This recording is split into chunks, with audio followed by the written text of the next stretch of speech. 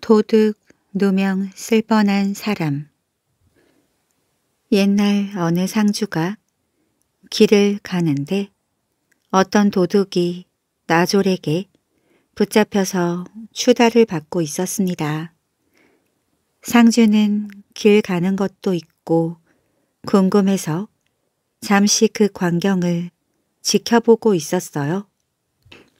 네 이놈, 넌 재물만 앗아간 것이 아니라 그 집 주인까지 죽인 것을 보면 결코 너 혼자서 한 짓이 아닐 줄 안다. 너와 함께 이 끔찍한 짓을 한 그 공모자를 대란 말이다. 나졸은 삼지창 끝을 도둑의 목에다 대고 윽박 질렀습니다. 그러자 도둑은 서슴치 않고 자기 옆에 서서 구경하는 그 상주를 가리켰어요. 잠시라도 이 다급한 처지를 벗어나고자 함에서였습니다. 나으리 말씀드리겠습니다. 저기 서 있는 저 사람과 함께 했습니다. 그러고는 고개를 푹 숙였습니다. 이 얼토당토하는 거짓말에 상주는 가슴이 철렁 내려앉았습니다. 참으로 귀신이 고칼 노릇이요. 모진 놈 옆에 있다가 벼락 맞는 격이었지요. 나으리 아닙니다. 이놈이 새빨간 거짓말을 하고 있어요. 저는 지금 길을 가다가 구경을 하고 있을 뿐입니다. 이놈아 환장을 냈느냐? 언제 나를 봤다고 그런 애매한 소리를 하느냐? 나으리 저놈이야말로 새빨간 거짓말입니다. 저놈은 어릴 때부터 한마을에서 살아온 친한 친구입니다. 이번 사건도 저놈과 협력해서 저질렀습니다. 자 그럼 도리 없이 너도 같이 가야겠다. 나졸들이 상주를 오랏줄로 묶으려 했습니다. 그러자 상주는 어이가 없다는 듯이 센 웃음을 지었습니다. 나으리 잠깐만 기다리셔요. 내 이놈에게 물어볼 말이 있습니다. 그래 무슨 말인가 물어보도록 해라. 이놈아 내가 분명히 네 친구라고 했지? 그렇지 넌 내 친구지. 지금 와서 속인다고 될 줄 알아? 그럼 넌 내 어릴 때의 얼굴이나 몸 생김새를 잘 기억하고 있겠구나. 그거야 말할 것도 없지. 상주는 이제는 됐다고 생각했습니다. 그러고는 자신만만하게 물었어요. 그럼 너에게 묻겠는데 내게 손마디가 하나 없는 손이 있었지? 그 손이 어느 쪽 손이었지? 도둑은 이 말을 듣자 당황하지 않을 수 없었습니다. 우선 급한 불이나 끌까 하고 상주를 공모자라 찍어 붙였지만 그 사람의 손마디가 어떻게 생겼는지를 알 까닭이 없었어요. 그러나 바른 손인가 왼손인가 묻는 것을 보면 손마디가 하나 없다는 것만은 사실인 것 같았습니다. 그러므로 바른 손이냐 왼손이냐 그 중 하나를 대면 되는데 사실 그것이 또한 문제였습니다. 둘 중에 어느 것이겠지만 보지 않는 손을 알아맞히기란 참으로 어려웠어요. 그러나 어느 쪽이든 하나를 대야만 했습니다. 왼손이야. 왼손? 왼손이 틀림없지? 그럼 왼손이야. 이때 상주는 한바탕 큰 소리로 웃어대더니 감추었던 두 손을 앞으로 내며 보였습니다. 내 손가락을 보아라. 어느 손가락에 마디가 없어? 모두가 성한 손가락뿐이지 않느냐? 어리석은 놈 같으니라고 내 꾀에 내 놈이 넘어갔어. 내가 손마디 없는 손이 어느 쪽이냐고 하니까 정말 마디 없는 손가락이 있는 줄 알았지? 그래 죄 없는 사람을 올가 넣으려고 너는 거짓말을 했지만 죄는 결국 지은 놈이 받는 법이야. 그리고 여기 계시는 나으리들 이제야 이놈이 거짓말을 했다는 것을 알 수 있지요. 예, 이놈은 옥에 가두었다가 엄한 벌을 내리도록 사또에게 고하겠소. 잠시나마 공모자라 의심해서 정말 미안하게 되었소. 그러면 이제 어서 볼 일이나 보시오. 이리하여 상주는 위태로운 고비를 용암꾀를 써서 잘 넘겼습니다. 만약 그 상주에게 그런 재치가 떠오르지 않았더라면 참으로 애매한 도둑 누명을 쓸 뻔했습니다. 부지런한 총각과 용 옛날 깊은 산골에 일찍이 부모를 여인 어떤 총각이 혼자서 살았습니다. 이 총각은 마음씨가 매우 어질고 착했으며 일도 부지런히 했습니다. 어느 날 총각은 깊은 산골에서 나무를 하고 있었습니다. 그런데 너무도 힘이 들어 이마에는 구슬 같은 땀방울이 맺혔습니다. 총각은 좀 쉬었다가 하려고 잔디 위에 주저앉아 땀을 배수건으로 닦고 있었습니다. 그런데 이때였어요. 부스럭부스럭 낙엽을 헤집고 큰 구렁이 한 마리가 나타났습니다. 총각은 깜짝 놀라 벌떡 일어섰어요. 그러자 구렁이는 두 혀끝을 비비면서 참으로 뜻밖의 말을 하였습니다.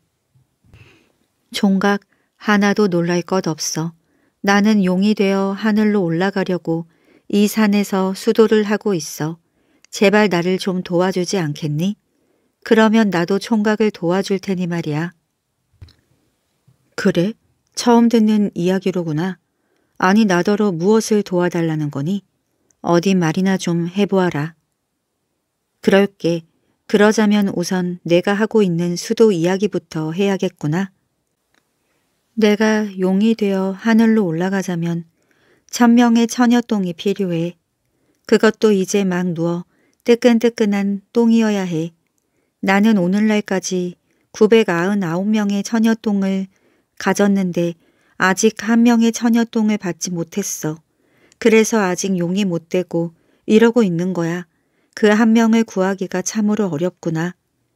똥을 눌 때를 보지 않으면 그것이 어른 똥인지 아이 똥인지 그리고 처녀 똥인지 부인 똥인지 통 알 수가 없단 말이야. 그러니 총각이 그 뜨끈뜨끈한 처녀 똥을 좀 구해다 줄 수 없을까? 듣고 보니 참 딱하기도 했고 우습기도 했습니다. 그리고 처녀똥이 왜 그렇게도 구렁이들에겐 소중한지를 알 수가 없었어요.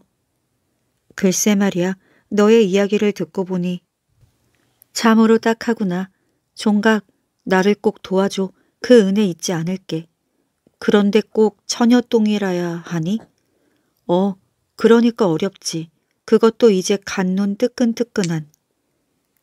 총각은 얼마 동안을 눈을 감고 생각해 보았습니다. 가만히 있자. 좋은 생각이 떠올랐어. 총각은 두 눈을 크게 뜨며 무릎을 탁 쳤습니다. 그동안에 무슨 좋은 생각이 떠올랐나 봅니다. 총각, 어서 말해봐. 그 생각이 어떤 생각인가를 속 시원히 들려줘. 내가 우리 집으로 따라오면 돼. 아니 내가 총각네 집으로? 그럼 총각네 집에 처녀가 있단 말이야? 아니 우리 집엔 아무도 없고 나 혼자만 살아. 그럼 이야기가 다르지 않아? 처녀도 없는데 내가 총각네 집으로 갈 필요가 없잖아? 그것도 맞는 이야기였습니다. 구렁이의 이야기가 옳았어요. 그런데 말이야, 우리 앞집에 예쁜 처녀가 살거든? 그래? 그거 참 잘 됐구나. 그래서 나를 총각네 집으로 가자고 했구나. 어, 그런데 말이야, 그 처녀에게는 이상한 버릇이 있어. 어떤 버릇인데? 총각은 얼른 대답을 하지 않고 연방 벙글거리기만 했습니다. 총각 혼자만 웃지 말고 그 처녀의 버릇을 얘기해봐. 어, 자꾸 웃음부터 나오네. 그 처녀가 말이야. 늘 아침마다 자기 집 뒷곁에 와서 똥을 눈단 말이야. 우리 집과 그 처녀 집 사이에는 낮은 담이 있는데 우리 집에서 보면 다 보이거든. 참으로 우습지 않아? 다 큰 처녀가 뒷간에서 똥을 누지 않고 꼬마들처럼 뒷곁에서 눈이 말이야. 그래, 그거 참 우습구나. 그러니 네가 나를 따라가 그 토담 밑에 숨어 있다가 처녀가 똥을 누고 가면 주워 먹으란 말이야. 구렁이가 듣고 보니 그 방법이 좋을 것 같았습니다. 그리고 힘이 드는 일도 아니었어요. 이리하여 구렁이는 그날로 총각을 따라 총각네 집으로 왔습니다. 그러고는 담을 넘어가서 처녀집 뒷겸 밑에서 날이 새기를 기다렸어요.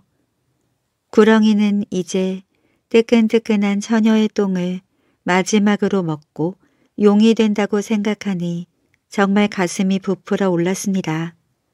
마침내 먼동이 트고 새벽이 되었어요. 구렁이가 눈을 부릅뜨고 이제나 저제나 하고 기다리고 있는데 아니나 다를까 처녀가 뒷곁으로 달려오더니 급하게 주저앉아 똥을 누었습니다. 이것을 본 노렁이는 스르르 떠리를 풀었어요. 이때 처녀가 똥을 다누고 집 안으로 돌아갔습니다. 이때를 놓칠세라 구렁이는 금방 그 똥 무더기로 달려가서 처녀의 똥을 먹기 시작했어요. 그러자 전신이 푸들푸들 떨리며 기운이 용솟음 쳤습니다. 구렁이는 똥을 먹자 이번에는 담을 넘어와서 총각을 불렀습니다. 총각, 나는 이제 마지막 천명제의 처녀똥을 먹고 곧 용이 되어 하늘로 올라가게 돼. 다 네가 나를 도와준 덕분이야. 이제는 내가 너의 소원을 들어줄 차례야. 어서 말해봐. 무엇이든 너의 소원을 들어줄게. 고마워. 하지만 내 소원은 참으로 어려운데 이루어질 수 있을까? 뭔데? 사양하지 말고 말이나 해봐. 총각은 뒤통수를 긁적긁적 몇 번 긁었습니다. 쑥스러워서 얼른 대답이 나오지 않았어요. 실은 말이야 나는 아직 장가를 못 들었거든. 참 아직 총각이라고 했지. 그런데 말이야 장가될 색시감이라도 보아둔 데가 있니? 내 딴에는 보아두었지만 색시의 아버지가 아주 못된 사람이야. 남을 깔보고 거만해서 나 같은 사람은 사람으로 여기지도 않지. 도대체 누구네 집 딸인데? 웃지 마. 바로 조금 전에 똥을 누고 간 그 처녀야. 난 그 처녀를 좋아하지만 나같이 혼자만 사는 사람에게 딸을 시집 보내겠어? 그건 염려하지 마. 나는 뭐 대단히 어려운 청인 줄 알았지. 그까지 일이라면 문제 없어. 총각은 구렁이의 말에 귀가 솔깃해졌습니다. 앞집 처녀에게 장가되는 일이 아주 쉬운 일이라고 하니 그럴 만도 했습니다. 벌써부터 가슴이 콩닥거리며 코끝이 찡해 왔습니다. 아니 그게 정말이야? 그러자 구렁이는 총각 가까이로 바짝 다가서더니 한참 동안 귀갯말을 했습니다. 이 말을 들으면서 총각은 연방 고개를 끄덕거렸어요. 구렁이는 한참 동안 비밀 이야기를 총각에게 들려주었습니다. 이윽고 이야기가 다 끝나자 구렁이는 우렁찬 소리를 지르며 날개가 돋더니 하늘로 날아 올라갔습니다. 총각은 용이 되어 멀리 사라져간 구렁이를 바라보고 섰다가 한참 만에야 제정신으로 되돌아왔어요. 나도 구렁이가 가르쳐준 대로 앞집 처녀와 장가될 준비나 해야지 이러고 있을 때가 아니야. 총각은 그 길로 산으로 달려갔습니다. 그러고는 아름다운 장기길 세 개를 주어서 집으로 돌아왔어요. 그것이 다 구렁이가 귀옛말로 시킨 일이었습니다. 그래야만 앞집 처녀와 결혼을 할 수 있다고 했어요. 그 이튿날 새벽이 되었습니다. 여느 때와 마찬가지로 앞집 처녀가 또 뒷곁으로 와서 똥을 누고 갔습니다. 그것을 지켜보고 있던 총각은 지체하지 않고 얼른 담을 넘어갔습니다. 그러고는 그 처녀의 똥무더기에다 어제 주워온 꽝기 세 개를 꽂아두었어요. 물론 이것도 구렁이가 시킨 일이었습니다. 그런데 똥을 누고 가던 처녀의 사타구니에서 참으로 괴상한 소리가 났습니다. 처녀가 걸을 때마다 이런 괴상한 소리가 사타구니에서 났습니다. 끽, 끽, 끄르르. 처녀는 하도 이상해서 온 마당을 걸어다녀 보았습니다. 그러나 처녀가 걸을 때마다 마치 꿩이 날면서 우는 것 같은 꿩 소리가 연방 나는 것이었습니다. 참으로 큰일이 났어요. 이래가지고는 시집도 못 가게 되었으며 창피스러워서 문밖 출입도 못하게 되었습니다. 그날로부터 처녀는 방 안에 누워 근심에 쌓였습니다. 가족들의 걱정도 이만저만이 아니었어요. 한편 뒷집 총각은 속으로 기뻐하고 있었습니다. 왜냐하면 구렁이가 일러준 대로 했더니 일이 어김없이 되어갔기 때문입니다. 그렇다면 처녀와 결혼을 하게 될 것도 불을 보듯 뻔한 일이었어요. 처녀 집 가족들은 이와는 반대로 걱정이 태산 같았습니다. 시집을 보내야 하는 딸의 사타구니에서 괴상한 소리가 나니 남부끄러워서 도무지 견딜 수가 없었어요. 그래서 용하다는 의원을 몰래 불러서 이 병을 고쳐보려 했으나 허사였습니다. 그래서 처녀 집에서는 이제 더 이상 숨길 것이 아니라 온 나라에다 방을 써 붙이기로 했습니다. 그리고 그 방에는 누구든지 딸의 병을 고치는 사람은 사위로 삼고 살림의 절반을 주겠다고 했습니다. 방이 붙자 나날이 많은 총각들이 다녀갔으나 모두 허탕이었습니다. 처녀와 처녀의 가족들은 한숨만 쉬고 있었어요. 그러던 어느 날이었습니다. 뒷집의 그 총각이 처녀 집으로 찾아갔습니다. 그러고는 처녀의 병을 낫게 해보겠다고 말했어요. 여복에 돌아가게 자네보다 몇 배나 훌륭해 보이던 총각들도 못 고치고 돌아갔네. 자네가 무슨 재주로 내 딸의 병을 고친단 말인가. 아저씨, 어쨌든 제가 한번 고쳐볼 테니 제게 맡겨주세요. 속는 셈 치고 제게 맡겨보십시오. 그러나 처녀의 아버지는 고개를 흔들었습니다. 그러자 옆에 앉아있던 처녀의 어머니가 자기 남편을 졸라댔어요. 여보, 저 총각에게 맡겨봅시다. 믿져봐야 본전아니요. 고집 부리지 말고 한번 맡겨봅시다. 누가 아오? 그의 병이 거뜬히 나을지.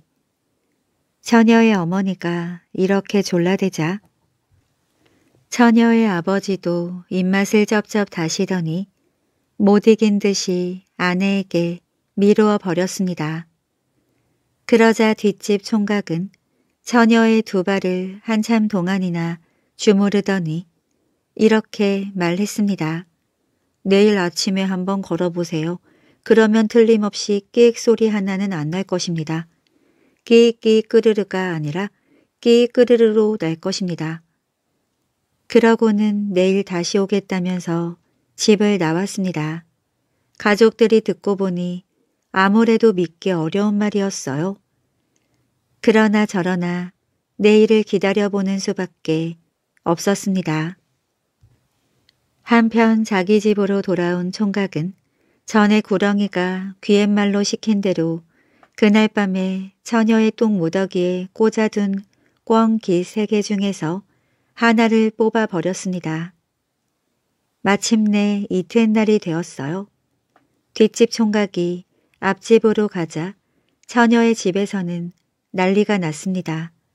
총각이 뜰로 들어서기가 무섭게 부모들이 총각의 두 손을 꽉 붙들었어요. 고맙네. 자네 말이 맞았어. 저 아이 병이 한 가지는 나았다네. 제발 내 딸 아이의 병을 마저 고쳐주게나. 총각은 태연하게 말했습니다. 염려하지 마셔요. 제 힘 잘하는 데까지 노력해 보겠습니다. 이러면서 총각은 다시 처녀의 방으로 들어갔습니다. 그러고는 그날도 두 정강이를 한참 동안 주물렀어요. 아저씨, 내일은 또 한 가지의 병이 고쳐질 것입니다. 끼익끼익 소리는 다 없어지고 끄르륵 소리만 날 거예요. 그럼 내일 다시 오겠습니다. 총각은 그날도 밤중에 담을 넘어가 구렁이가 일러준 대로 꿩깃 하나를 더 뽑아버렸습니다.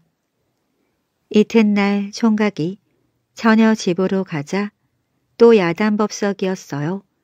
총각은 그날은 처녀의 두 허벅지를 한참 주물러주고 돌아왔습니다.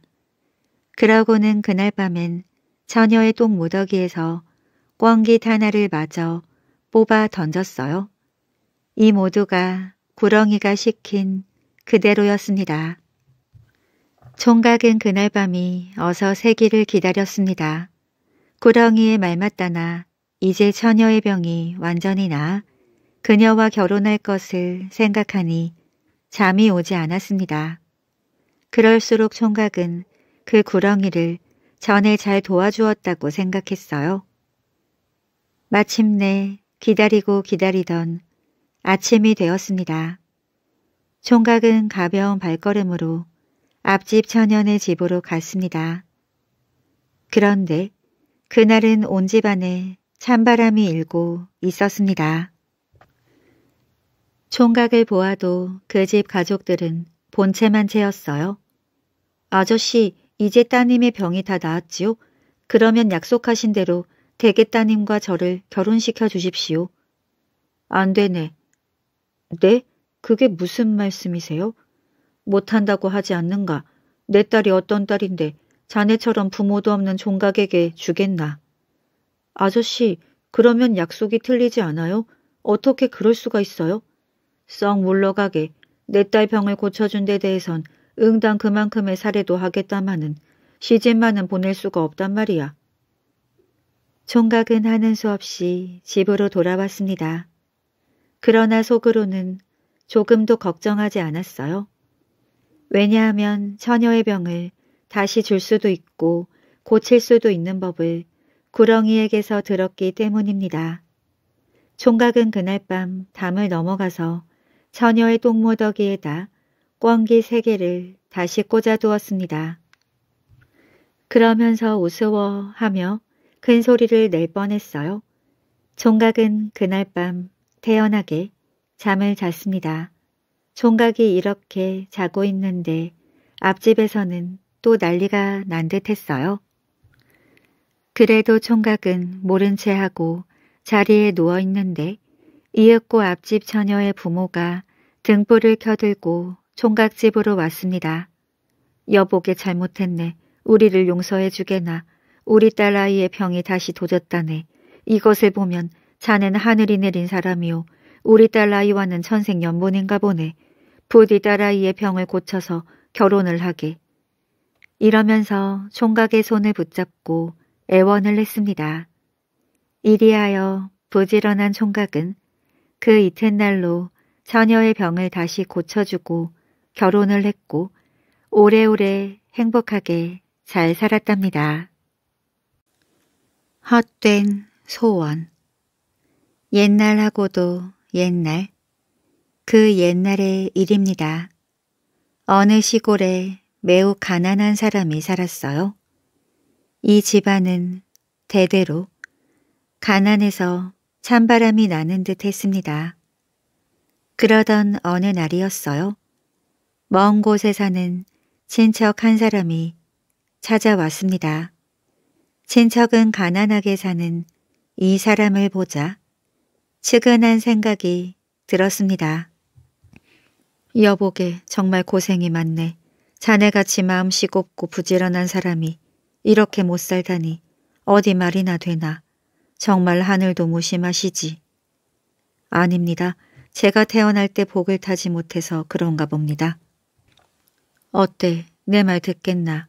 매일 밤 자정에 뜰에다 자리를 깔고 정한수 떠놓고 전지신명께 지성을 들여보게. 자네같이 어진 사람은 지성이 지극하면 하늘도 소원을 들어줄 걸세. 이렇게 권했습니다. 사실 옛날엔 이런 미신을 믿는 사람이 많았습니다. 기뻐도 슬퍼도 천지신명께 아뢰고 자기의 소원이나 꿈이 이루어지도록 천지신명께 빌었습니다. 친척이 돌아가자 가난한 사람은 친척이 권하는 대로 매일 밤 천지신명에게 시성을 드렸습니다. 엎드려 삼가 천지신명께 비나이다. 저의 소원은 그저 금을 많이 가지는 것입니다. 저의 손이 닿는 것은 모두 금이 되게 해주옵소서. 가난하게 사는 저의 소원을 들어주시기를 간절히 비나이다. 이렇게 말하며 절을 하였습니다. 골똘히 금덩어리만을 생각하며 몇 번이고 몇 번이고 절을 했습니다. 수십 번, 수백 번 지쳐 쓰러질 때까지 무수히 되풀이해서 절을 했습니다. 그러다가 가난한 사람은 지쳐서 마침내 자리에 쓰러지고 말았습니다. 그런데 내려다보니 절을 할 때 손을 짚었던 자리가 금으로 변해 있었습니다. 참으로 신기한 일이었어요. 이것을 본 가난뱅이는 기뻐서 어쩔 줄을 몰랐습니다. 자기의 소원대로 이루어졌습니다. 가난뱅이는 일어서서 덩실덩실 춤을 추었습니다. 자기의 소원을 들어준 천지신명도 고맙고 며칠 전에 찾아왔던 그 친척도 고맙 기 이를 데 없었어요. 사실 그 친척이 가르쳐 주지 않았더라면 오늘의 이 기쁨을 얻을 수가 없었을 것입니다. 가난뱅이는 한참 동안 춤을 추다가 마루로 올라갔습니다. 그러고는 기둥을 만져보았어요. 그런데 또 이게 웬일인가요? 이번에는 기둥이 금 기둥으로 바뀌었습니다.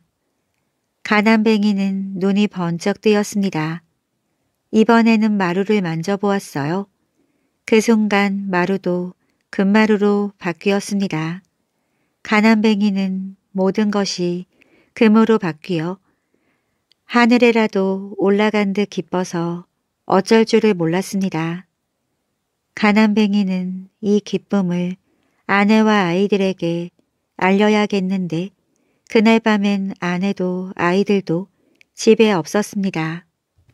아내는 그날 낮에 아이들을 데리고 친정에 가고 없었어요. 친정에 가서 양식이라도 얻어온다면서 갔는데 그날 밤은 친정에서 자는 모양이었습니다. 가난뱅이는 이럴 때 하늘을 날 수 있으면 얼마나 좋을까 하고 생각해 보았습니다.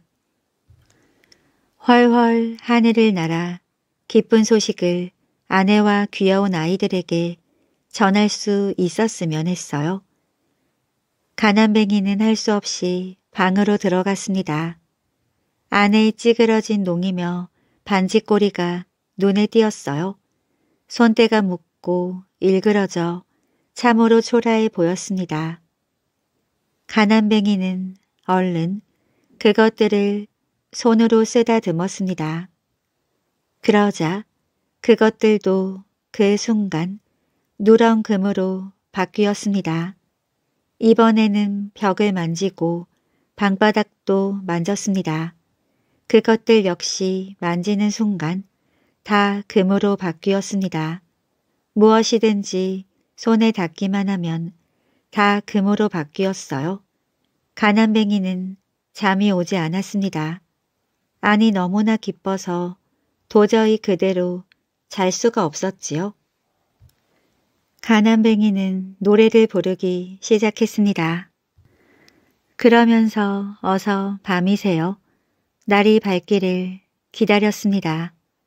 동만 트면 집안의 모든 것들을 다 금으로 만들어 놓고 아내와 아이들이 돌아오면 깜짝 놀라고 기쁘게 해주려고 했어요. 이제 아내가 양식을 얻으러 친정에 가지 않아도 넉넉하게 살 수 있게 되었다고 생각하니 너무나 기뻤습니다. 마침내 날이 새어 아침이 되었습니다. 가난뱅이는 뜰로 나갔어요. 뜰에 있는 담이며 나무를 손으로 만져 모두 금으로 바꾸었습니다. 그러고 나니 온 집이 누렇게 금빛으로 가득 차 있었어요. 가난뱅이는 이때 배가 고파서 먹을 것이 없나 하고 부엌으로 들어갔습니다. 그런데 이게 웬일일까요? 솥을 열어 안을 보려는데 솥이 황금으로 변했습니다. 그리고 솥 안에 든 밥그릇을 드러내니 밥그릇과 밥이 다 금으로 바뀌었어요. 가난뱅이는 배가 고파도 이제 먹을 수가 없게 되었습니다. 하는 수 없이 물이라도 떠먹으려고 물을 뜨니 이번에는 물도 금으로 바뀌어 버렸습니다. 일이 이렇게 되고 보니 아무것도 먹을 수가 없게 되었어요. 그때 마침 가난뱅이의 아내와 아이들이 양식을 얻어가지고 집으로 돌아왔습니다. 가난뱅이는 아내와 아이들을 덥석 잡고 지금까지의 이야기를 하려고 했어요.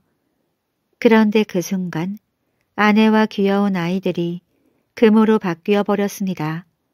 참으로 놀라운 일이 아닐 수가 없었어요. 이제는 사랑하는 가족까지도 다 금으로 바뀌어 버렸습니다. 가난뱅이는 눈물이 쏟아져 내렸습니다. 먹으려 해야 먹을 수도 없고 가족들까지도 금으로 바뀐 이상 금이 있기로써니 무슨 소용이 있겠나요? 가난뱅이는 모든 것이 귀찮았습니다. 이젠 금도 지긋지긋했어요. 땅을 치며 울부짖었습니다. 내 사랑하는 아내와 아이들을 내어놓아라. 저 누런 금도 모두 가져가거라. 가난뱅이는 목 놓아 울었습니다. 그 순간 가난뱅이는 눈을 번쩍 떴어요. 꿈이었습니다. 꿈에서 깨어났어요. 정한수를 차려놓은 소반 앞에서 아까 연달아 절을 하다가 지쳐서 그대로 쓰러져 잠이 들었는데 그동안에 꿈을 꾸었던 것입니다. 가난뱅이는 꿈인 것을 다행으로 여기고 얼마나 기뻐했는지 모릅니다. 그것이 만약 꿈이 아니었다면 어떻게 되었을까 하고 생각하니 정말 소름이 끼치고 온몸이 떨렸습니다. 그제서야 가난뱅이는 지금까지의 자기의 소원이 너무 헛된 것임을 깨달았습니다. 사람이란 헛된 욕심을 부리지 말고 자기 분수대로 살아가야 한다는 진리를 뼈저리게 깨우쳤답니다. 머슴에게 배운 것 옛날 옛날에 어느 마을에 글밖에 모르는 고지식한 선비 하나가 있었습니다. 선비는 마치 글을 읽고 글을 짓기 위해서 태어난 사람 같았어요.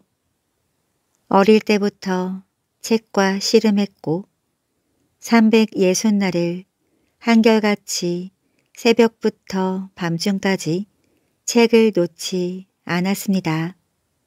그러므로 안 읽은 책이 없고 모르는 글귀가 없었습니다. 이렇게 자나깨나 공부에만 골몰했기 때문에 선비의 이름은 널리 퍼져 대학자로 존경을 받았습니다. 그러던 어느 날이었어요. 근 스무 날 동안이나 질금거리던 지루한 장마가 갠 날이었습니다. 두꺼운 먹장구름이 거짓말같이 밀려가고 쪽빛 하늘이 높다랗게 밝았습니다. 선비는 하도 날씨가 좋고 상쾌하여 자기 집 논도 볼 겸 잠시 바람을 쐬러 들판으로 나왔습니다. 이런 일은 참으로 드문 일이었어요. 아이고 웬일이십니까? 오늘은 나으리께서 바깥에 다 나오셨네요. 만나는 사람마다 이와 비슷한 인사를 했습니다. 선비의 바깥 출입이 신기하다고 느꼈기 때문입니다. 그런데 선비가 들길을 지나 자기 집 논두렁을 걷고 있을 때였어요. 얼마 안 떨어진 곳에서 물이 콸콸 흘러내리고 있었습니다. 선비는 깜짝 놀라서 그곳으로 급히 달려가 보았어요. 선비가 그곳에 이르러 살펴보니 논두렁에 큰 구멍이 생겨 거기서 물이 콸콸 새고 있었습니다. 물줄기가 어떻게나 새던지 그대로 두면 얼마 안 가 자기 집 논의 물이 다 빠질 것만 같았습니다. 이것을 본 선비는 옷소매를 둥둥 걷어 올리고는 두 손으로 흙을 파다가 논두렁 바깥쪽을 막았습니다. 그러나 막은 흙은 금방 거센 물줄기에 떠밀려서 떨어져 나갔습니다. 선비는 땀을 뻘뻘 흘리면서 몇 번이고 같은 일을 되풀이했어요. 그러나 소용이 없었습니다. 일이 이렇게 되자 선비는 덜컥 겁이 났습니다. 글에 대해서는 모르는 것이 없었는데 농산일은 정말 캄캄했습니다. 그래서 선비는 허둥지둥 자기 집으로 달려갔습니다. 가쁜 숨이 목구멍에까지 차올라 금방 쓰러질 것만 같았습니다. 선비가 이렇게 숨을 핥딱거리며 달려오자 이 집 머슴이 보고 물었습니다. 나으리 왜 이러십니까? 벌이라도 쐬셨습니까? 벌이다 뭐냐? 벌보다도 더 급하고 무서운 일이 생겼다. 그럼 늑대라도 나왔습니까? 이러고 있을 때가 아니다. 이 마을 장정 다섯 명을 데리고 가자. 모두들 삽을 들고 나오라고 해. 예, 그럼 호랑이가 나타난 게 분명하군요. 소인 빨리 나가서 불러오겠습니다. 이러더니 머슴은 급히 집 밖으로 나갔습니다. 선비는 그동안에도 좀이 쑤셔 견딜 수가 없었어요. 자기 집 논에 물이 다 빠져 논바닥이 갈라지고 모가 벌겋게 타들어가는 광경이 그림처럼 떠올랐습니다. 선비가 이렇게 간장을 태우고 있을 때 마침내 머슴이 장정 다섯 사람을 모아왔습니다. 아닌 게 아니라 장정들은 모두 삽을 들고 있었어요. 이들을 보자 선비는 자기를 따르라 하면서 앞장서 달리기 시작했습니다. 장정들은 모두 호랑이를 잡으러 간다고 생각했습니다. 아까 선비네 집 머슴이 그렇게 얘기했기 때문입니다. 그런데 잠시 뒤에 선비가 멈추어 선 곳은 자기 집 논두렁이었습니다. 모두들 그 일대를 휘둘러 보았어요. 그러나 기대했던 호랑이는 아무 데도 없었습니다. 나으리 호랑이를 어디서 보셨습니까? 이 들판엔 아무 데고 호랑이가 없지 않습니까? 누가 호랑이가 나왔댔어? 그럼 어디다 쓰려고 이렇게 힘센 장정을 다섯씩이나 데리고 오셨습니까? 이런 맹추를 봤나? 그래 넌 여기 와서도 무엇 때문에 온지를 모른단 말이냐? 머슴은 그때까지도 짐작을 못해서 눈을 뒤룩거렸습니다. 저기 저 논두렁을 보아라. 구멍이 펑 뚫려 우리 집 논에 물이 콸콸 쏟아져 내리지 않니? 예, 그건 막아야지요. 혼자의 힘으로는 도저히 막을 수 없단 말이다. 아까 내가 막아봤지만 혼자로는 어림도 없어. 그래서 내가 너희들을 여섯씩이나 데리고 온 거야. 이 말을 듣자 머슴은 싱긋 코웃음을 쳤습니다.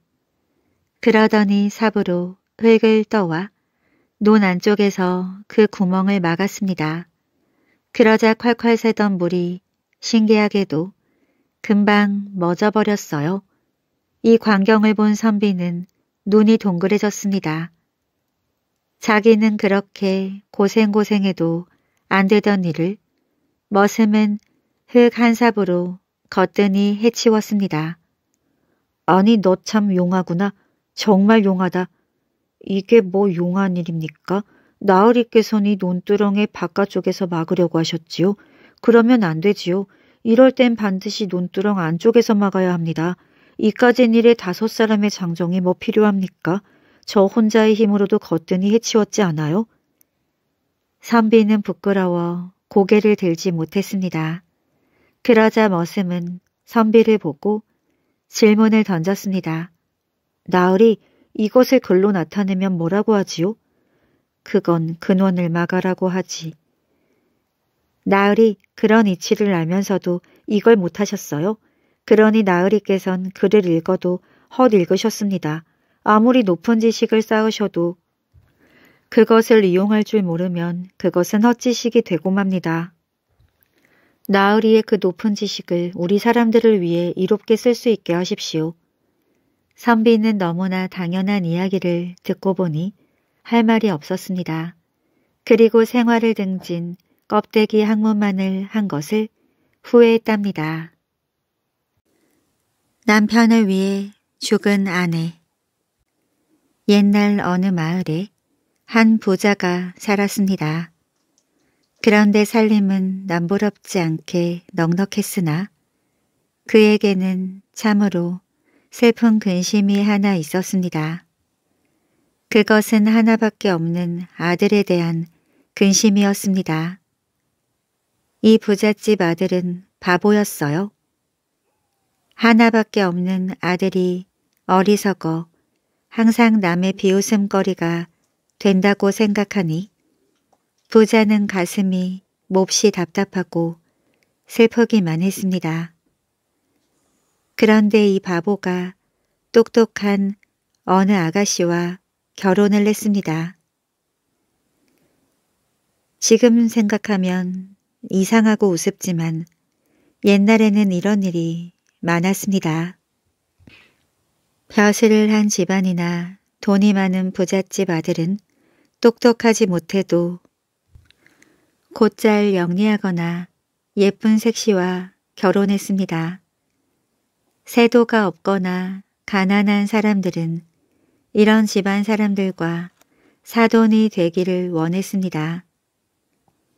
그러나 부잣집 아들은 바보인지라 결혼을 해도 늘 그 집 종들로부터 놀림을 받았습니다. 그리고 종들은 상전의 아들이 너무나 어리석어 고분고분 그를 따르지 않고 빗나가거나 업신여겼어요. 한편 바보의 아내는 남편이 종들한테서 놀림을 받고 업신여김을 당하는 것이 못내 안타까웠습니다. 그래서 그녀는 남편더러 종을 볼 때에는 꼬중을 하라고 일러주었습니다. 그러자 바보 남편은 종을 보기만 하면 그저 꼬중꼬중 하고 외치기만 했습니다. 이 바보는 아내가 꼬지람을 하고 나무라란 뜻을 알아차리지 못하고 입으로만 꾸중꾸중 한 것입니다. 일이 이렇게 되자 종들은 바보를 더 비웃었습니다. 이를 보다 못해 바보의 아내는 남편에게 그를 배우도록 권했습니다. 그러나 남편은 원래 머리가 좋지 못한 데다가 게으르기도 이를 데 없었습니다. 아버지한테 배우는 글도 복습을 안 하기 때문에 돌아서면 금방 잊어먹고 말았어요. 바보의 아내가 곁에서 아무리 타이르고 권해도 마냥 빈둥빈둥 놀며 바보 짓만 했습니다. 그럴수록 바보의 아내는 가슴이 찢어지는 듯이 서글프고 아팠습니다. 그러던 어느 날이었어요. 바보의 아내는 차라리 자기가 죽는 것이 남편을 위하는 길이라고 생각했습니다. 남편의 나쁜 버릇을 고치기 위해서 자기 자신이 죽는 길밖에 없다고 생각했어요. 그리하여 아내는 스스로 목숨을 끊었습니다. 숨진 아내를 본 바보는 아내가 불쌍했습니다. 사실 그때까지는 아내를 미워하고 있었어요. 늘 이래라 저래라 잔소리가 많고 아내는 자기가 모르는 한글까지 알고 있기 때문입니다. 바보의 눈에서는 눈물이 비오듯 쏟아져 내렸습니다. 그는 울고 앉았다가 문득 아내의 머리맡에 있는 유서를 보았습니다. 바보는 얼른 유서를 주워들었지만 글을 모르니 읽을 수가 없었어요. 안타깝기 이를 데 없었습니다. 게으름뱅이 바보도 이때만은 자기가 게을러서 글을 익히지 못한 것을 몹시 뉘우쳤습니다. 그러나 때는 이미 늦었습니다. 바보는 유서를 들고 아버지에게로 갔습니다. 그리고 아내가 죽었다는 이야기를 했어요. 이런 편이 있나 그 아까운 아이가 죽다니 상냥하고 영리한 며느라기를 잃었으니 이제 우리 집은 망했구나. 이것이 모두 너 때문이 아니냐. 차라리 내가 죽었어야 할 놈이다. 그래도 너를 남편이라고 내 버릇을 고쳐주기 위해서 며느라기가 이렇게 죽었구나. 이런 연려가 또 어디 있겠느냐. 내 아내가 써놓고 간 이유서를 읽을 테니 들어보아라. 이렇게 노여움을 참지 못하는 바보의 아버지는 떨리는 목소리로 며느리의 유서를 소리내어 읽기 시작했습니다. 여보, 연로하신 부모님과 아무것도 모르는 당신을 버리고 먼저 죽게 된 저를 용서해 주세요.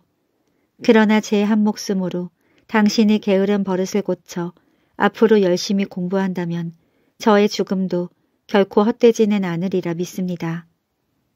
부디 부모님 말씀 잘 듣고 공부 열심히 해서 바보란 소리를 안 듣도록 하셔요. 아무리 머리가 나빠도 열심히 노력하면 안 되는 일이 없는 법입니다. 자기 머리가 나쁘다고 한탄만 하고 있으면 정말 바보가 되어버립니다. 비록 몸은 죽었어도 땅 밑에서 당신이 훌륭한 사람이 되도록 빌겠습니다. 끝으로 부모님께 제가 못다 해드린 효도를 다 해드리도록 하셔요.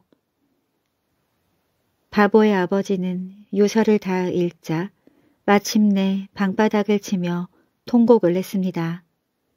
그리고 옆에 앉아댔던 바보도 눈물을 흘리며 슬피 울었습니다. 이런 일이 있은 뒤로 바보는 정말 딴 사람이 되었습니다.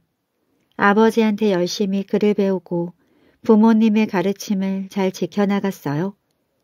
그리하여 그 뒤론 아무도 그를 보고 바보라 비웃는 사람이 없었습니다.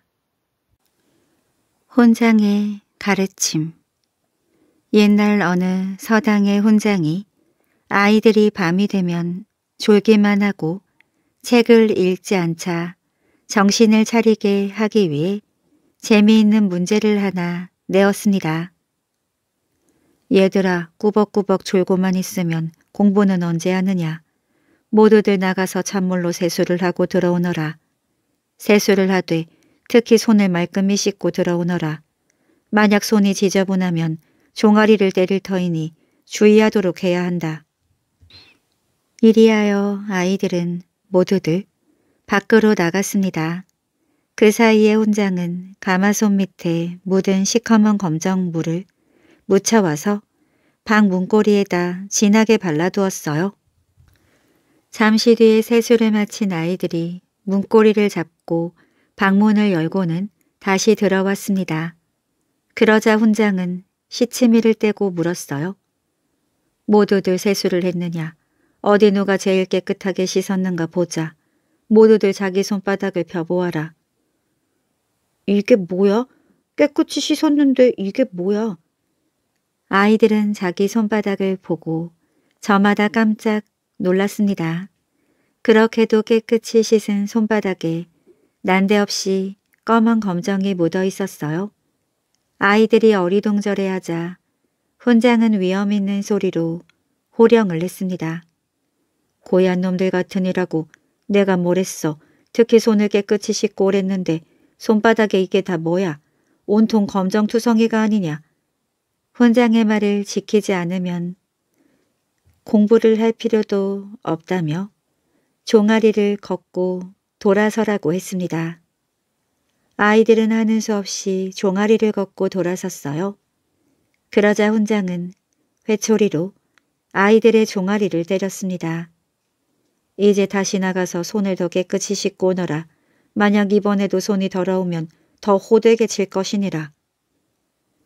이리하여 아이들이 다시 바깥으로 나갔습니다.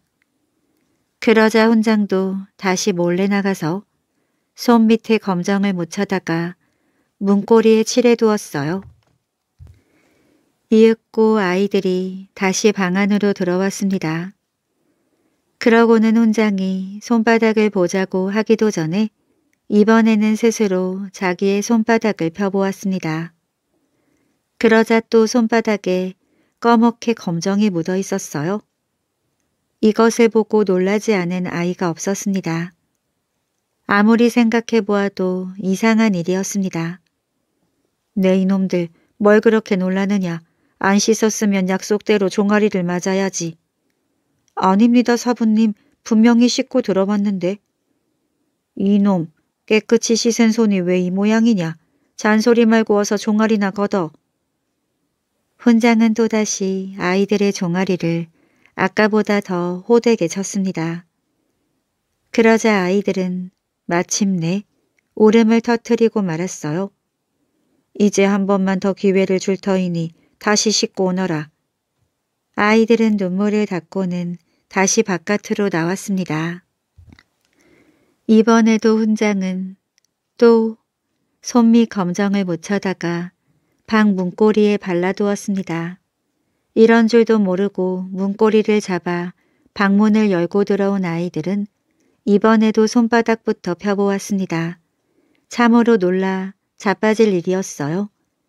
그들의 손바닥은 여전히 검정으로 지저분했습니다. 네 이놈들 손을 씻었는데 왜 이 모양이냐 씻은 손이 왜 이 모양이 되는가 그 이유를 생각해 보았느냐 아무래도 이상합니다. 분명히 손은 씻었는데 검정이 묻어 있어요. 그때서야 훈장은 빙글에 웃으면서 문고리에다 검정을 칠해둔 때문이란 것을 아이들에게 자세히 설명해 주었습니다. 그러자 아이들은 머리를 긁적이면서 비로소 그 이유를 깨닫게 되었어요. 그것 봐라. 그런 간단한 이치도 생각해내지 못하기 때문에 너희들이 학문을 배우는 것이 아니냐. 그런데 이 귀중한 시간에 공부는 하지 않고 마냥 졸고만 있어서야 쓰겠느냐. 앞으로 더욱 정신을 가다듬어 공부하도록 해라. 내 말 알아들었지? 예, 사부님 명심하겠습니다. 이런 일이 있은 뒤로 아이들은 절대로 졸지 않고 열심히 공부를 하게 되었답니다. 오랏줄에 묶인 삼형제 옛날 어느 마을에 바보 삼형제가 살았습니다. 이 바보 삼형제는 너무나 어리석어 말을 잘 분별하여 쓰지 못했습니다. 첫째 형은 무슨 물음에도 그저 예 하고만 대답을 했습니다. 그리고 둘째 형은 무슨 물음에도 늘 돈이라고만 대답을 했습니다. 또 막내는 언제나 얼씨고 좋다 라는 말을 아무데나 붙여 썼습니다. 그런데 어느 날이었어요. 이 삼형제는 감히 주렁주렁 열린 어느 집 앞을 지나가게 되었습니다. 감에 볼이 붉어 참으로 먹음직스러웠어요.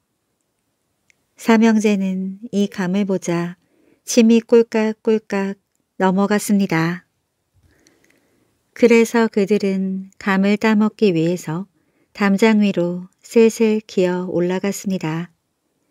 그런데 바로 이때였어요. 도둑을 잡으러 다니는 포졸이 지나가다가 그들을 발견했습니다. 포졸은 용모방망이로 때려서 그들 삼형제를 붙잡았어요. 그러고는 삼형제를 땅바닥에다 꿇어 앉혔습니다. 너 도둑이지? 형을 보고 포졸이 묻는 말이었습니다. 그러자 무슨 물음에도 예 밖에 대답할 줄 모르는 첫째 형은 예 하고 대답을 했습니다. 이번에는 포졸이 둘째 형을 보고 다그쳐 물었습니다. 무얼 훔치려 했느냐? 바른대로 대답을 하렸다. 그러자 무슨 물음에도 돈이라고밖에 대답할 줄 모르는 어리석은 둘째 형은 돈이라고만 대답했습니다. 이 소리를 들은 포졸이 이번에는 막내를 보고 말했어요. 너희들은 도둑이 들림없어. 자 일어나라. 옥에 가두어야겠다. 그러자 어리석은 막내도 분별 없이 제가 잘 쓰는 말대로 얼씨고 좋다라고 대답했습니다. 그렇게 포졸은 오랏줄로 바보 삼형제를 묶어서 옥으로 끌고 갔답니다. 달의 선물 어느 날 달이 보니까 저 아래 땅이 참 멋져 보였습니다. 푸르게 우거진 나무들, 너른 들판, 넘실대며 흐르는 강이며 바다. 달은 저 아래 땅에 몹시 가보고 싶었어요. 그래서 구름에게 말했습니다. 땅에 가보고 싶어 날 도와주렴. 구름은 온 하늘을 빽빽하게 채워서 하늘에 달이 없다는 걸 아무도 모르게 했어요. 그동안 달과 저녁놀은 아가씨로 변해서 구름을 타고 땅으로 내려왔습니다. 달과 저녁놀은 숲속을 거닐며 온갖 열매를 맛보고 온갖 꽃을 보고 온갖 향기를 맡았어요. 어찌나 즐거운지 달과 저녁놀은 숲풀에서 무슨 소리가 나는 것도 알아차리지 못했습니다. 갑자기 제규어가 숲풀에서 튀어나와 달의 목덜미를 향해 덤벼들었어요. 다행히 집으로 가던 농부가 이걸 보았습니다. 농부는 재빨리 달려와서 제규어를 물리쳤어요. 달이 농부에게 말했습니다. 구해주셔서 고맙습니다. 누구라도 도왔을 거요. 깊은 숲속이라 위험하니 우리 집에서 묵어요. 아내와 딸이 환영할 거요. 달과 저녁놀은 농부의 오두막으로 갔습니다. 농부의 아내와 딸이 반갑게 맞아주었어요. 저녁밥으로 옥수수빵을 내놓았는데 얼마나 맛있던지 달과 저녁놀이 모두 먹고 말았습니다. 달과 저녁놀은 농분의 오두막에서 하룻밤 묵고 다음 날 아침 감사 인사를 하고 떠났습니다. 구름이 달과 저녁놀을 하늘로 데려갔지요. 그날 밤 달은 빙글에 웃으며 저 아래 땅을 보았습니다. 강물에 비치는 자기 얼굴도 보고 농부네 식구가 사는 오도막도 보았어요. 그런데 식탁에 먹을 게 아무것도 없는 겁니다. 다른 자기와 저녁놀이 옥수수빵을 하나도 남김없이 먹은 게 생각났습니다. 다른 농부네 식구에게 뭔가 선물하고 싶었어요. 그래서 구름을 불러 부탁했지요. 내가 묵었던 오두막에 특별한 비를 내려주렴. 구름이 그날 밤 특별한 비를 내려주었습니다. 그러자 오두막 주위에 처음 보는 나무들이 나더니 쑥쑥 단박에 크게 자라났어요. 나뭇잎이 무성하고 꽃과 열매가 가득했습니다. 다음날 농부네 식구는 나뭇잎과 꽃, 열매를 따서 물에 끓였습니다. 그랬더니 맛 좋은 차가 되었어요. 차를 마시면 기운이 나고 마음이 편해져서 많은 사람들이 즐겨 마시게 되었답니다. 이 차가 바로 마태 차랍니다. 오늘도 이야기 재미있게 잘 들으셨나요? 옛날 이야기는 우리에게 재미뿐 아니라 지혜를 줍니다. 지혜는 우리의 삶에서 우리에게 큰 유익함을 주지요. 앞에서 들려드린 도둑 누명 쓸 뻔한 사람 이야기에서 주인공인 상주는 길을 가다가 도둑으로 누명을 쓸 위기에 처했었습니다. 하지만 지혜롭게 대처해서 위기에서 빠져나오게 되었어요. 이처럼 지혜로움은 우리가 살아가면서 만나는 많은 문제들을 해결하는 데 없어서는 안 되는 것 같습니다. 오늘도 옛날 이야기 들으시면서 조금 더 지혜로운 우리가 되었으면 좋겠습니다. 오늘도 편안한 잠자리 되시길 바랍니다.